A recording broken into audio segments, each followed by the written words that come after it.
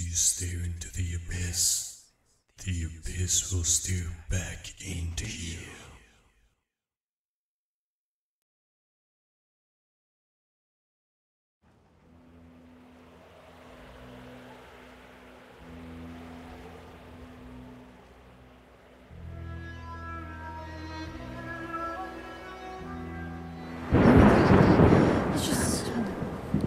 Thomas, um, my dear. Where are you? With you.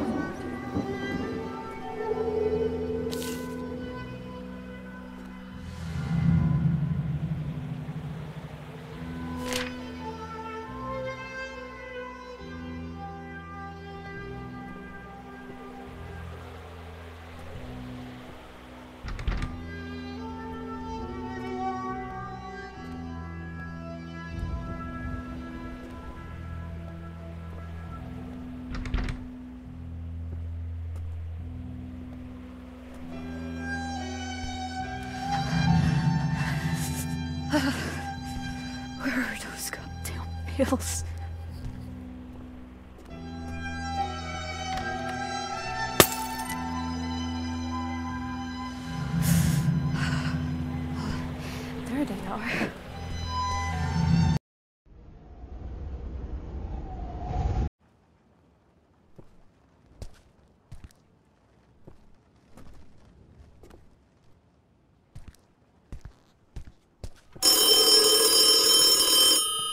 It? Who disturbs me at such late hour?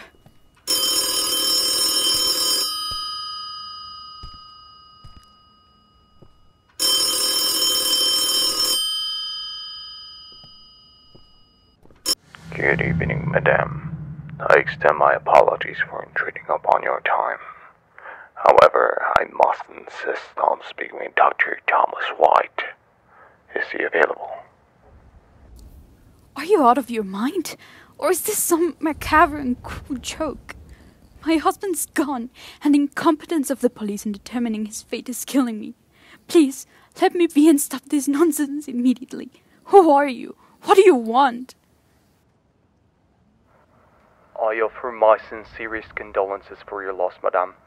I am sure his soul will find eternal rest in due time. My name holds no significance, but I represent the organization with which Dr. Thomas collaborated. His sudden departure has placed us in a most precarious situation, for his work was nearly complete in the recent weeks. Dr. White spoke highly of you on numerous occasions. If there were anyone capable of continuing his work, it would be you. As often, he reminded us. You have expressed your condolences in a most disgusting manner. Is there anything else? Indeed, Madame de is. For you see, while we mourn Dr. White's passing, we are compelled to find a way to complete his work. Forgive my audacity, Dr. Emily, but would you be interested in carrying on your husband's research? As Dr. Thomas may have shared with you, this is an extraordinary opportunity that arises only once in a lifetime. What? I don't care about any offer. Didn't you just hear? He's dead. How dare you even suggest such a thing? I intended no offense, madame. We would not consider anyone else to continue his work. I implore you reconsider our offer. Perhaps delving into your husband's recent endeavors may provide some insight and closure. Foreclosure takes many forms, madame. My associates shall provide you with our contact information. I beseech you, Dr. White, reconsider our proposition. Vision.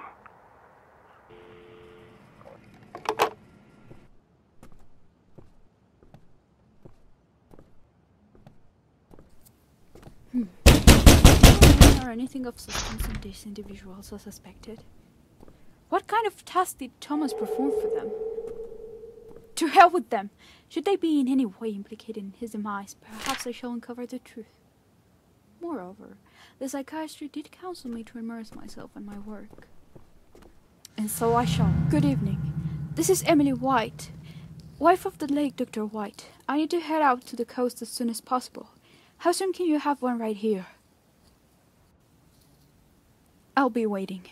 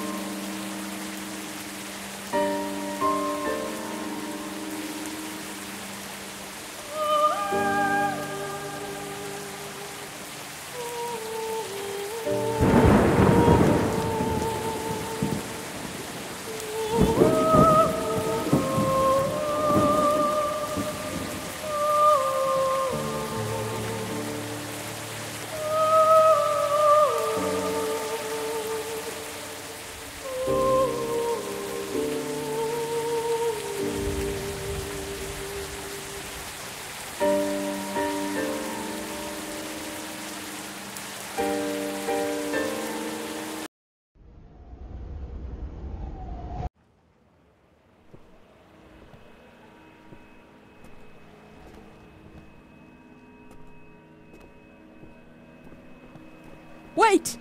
When do you return? Who's going to help me through all of this? Hello? Mister? According to the briefing notes, I'm supposed to retrieve three artifacts of an ancient culture that was believed to be lost.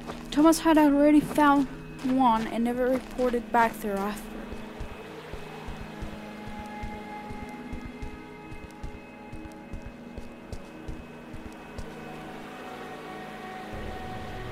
Mrs. White, I'm sorry I had to leave. This place is maddening. I heard something coming out from a cave nearby, inside the forest, and I wasn't mistaken. I decided to bake a little, then I found myself running for my life, and I dropped the key to the shed. Again, I'm sorry. Your belongings are inside the shed, but I beg you, leave this place. Leave this godforsaken place. No, no, no, no! What cave? I need my things. You ran? That means there was another boat? You bloody coward! Now I'll have to wait to come to get to me. Fair find.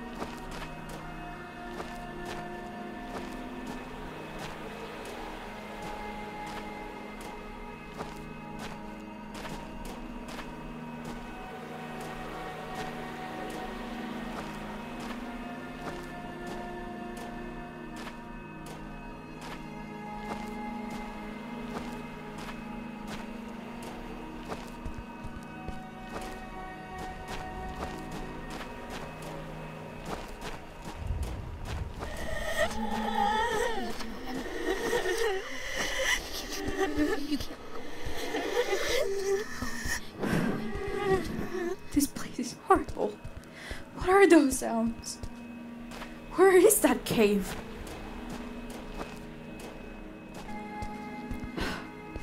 Huh. There it is.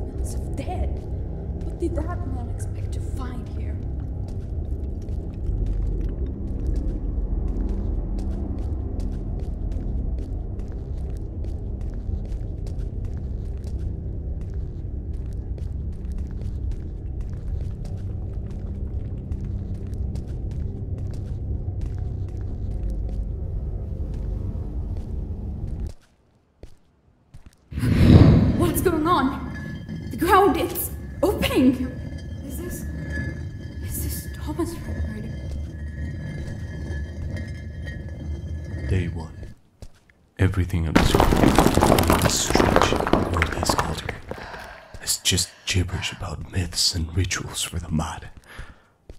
They speak of freeing our minds, of a way of embracing chaos. Just utter nonsense. Put myself alone in this forsaken place. Am I seeing I can no things? longer assure what I just saw the bloody thing. It, it was there. I swear there's something in the caves. be. Sometimes I can hear bones and flesh being torn.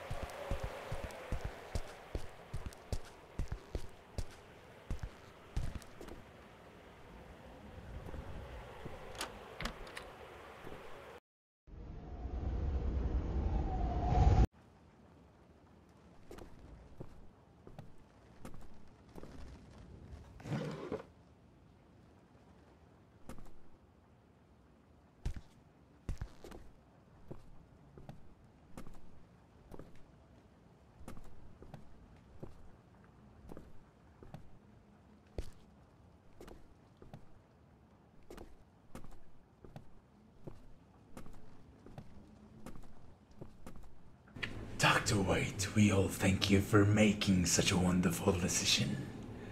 Committing your spirit to our work. There I say, your husband's work.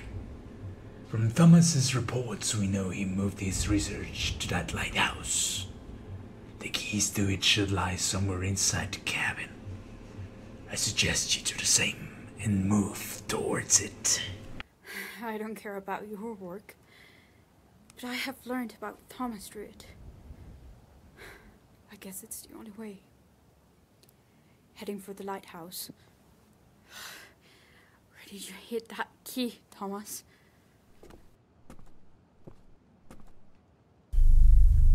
Night 2. I have used my first two days in the place to get to know the group of people. They use this place as a prey site. A single person is released into the island to perform a ritual. This this But I have not found what kind of ritual. All I know is that these artifacts have something to do with it.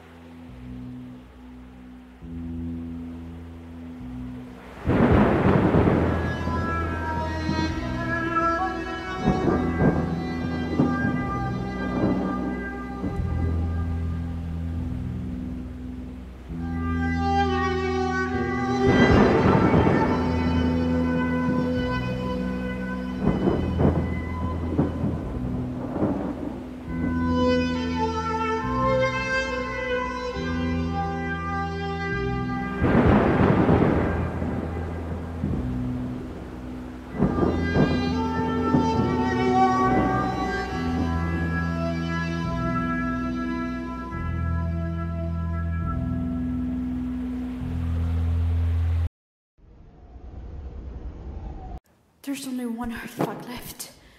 Thomas should have left something around.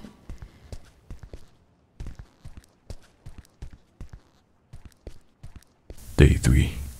I have no safe place to stay anymore. I dare not return to the cabin. My only hope is to finish my work tonight and hope that the boatman comes and gets me. There is only one more place for me to search for the last artifact an arrangement of sewers that were meant to serve the group settlement. All this was in my mind, why are these cells so loud? What foul things will I find in there? I. I feel my courage leaving me. No, but what happened to you? I feel like I'm chasing after your plane. I just need to know what happened.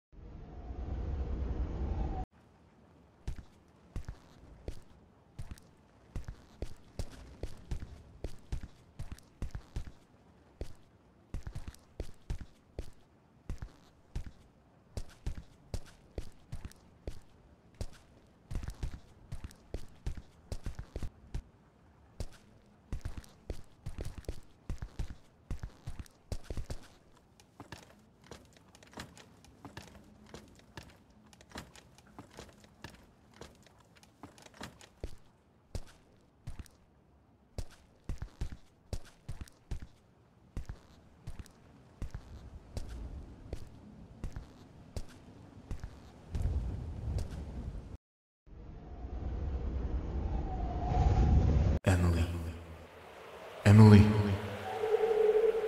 Thomas! Is that you? What do I do now? Tell me! I am a fool. From the moment I set foot in this cursed island, my fate was decided. Completely played by hallucinations and a group of lunatics. My goal was not only to retrieve these things, but to complete a ritual. This place was designed for me, inhabited by a trapped, dark soul, whose only purpose is to drive the world into insanity. That's its goal, to let the world succumb to madness, to chaos, to what this group calls the true human nature. But I will not meet their commands. I'm going to end this now. By my own hand. Forgive me, Emily.